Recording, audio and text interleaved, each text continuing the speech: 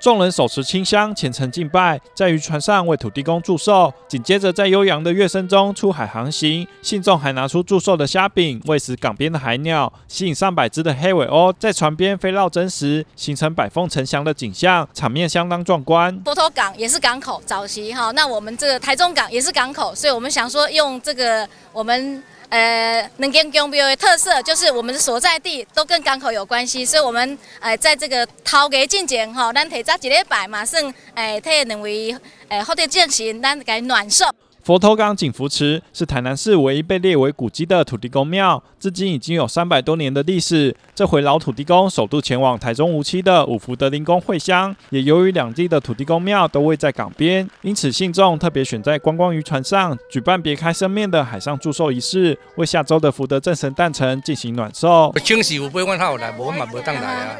哦，那是安尼啊，诶，已经有数以来三百几年唔捌出门诶。哦，对对对对对，唔捌出门诶啦。诶，